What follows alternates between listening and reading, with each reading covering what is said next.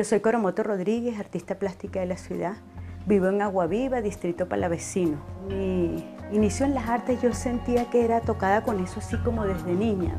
Yo dibujaba muchísimo. Entonces, bueno, siempre con esa cosa en el dibujo y en el dibujo. Entonces luego cuando voy allá al delta del Orinoco, amanezco allá y veo ese sol tan inmenso que encandilaba, veo los, los guaraos entrando a la casa, que entraban, entraban y salía, veo una, una danta, eso fue como un choque a ver el Padre Río y todo eso, entonces eso despertó como más mis ansias de trabajar en el arte. Y después seguí casi así autodidacta, casi por mi misma cuenta. Eh, me, me fascinaban era los santos, porque mi educación fue como muy religiosa, entonces empecé con la iconografía religiosa y luego entonces hice como una fusión entre la selva y los santos, ¿verdad? Porque sentí que al final de todo eran como la misma cosa, la naturaleza y Dios la misma cosa.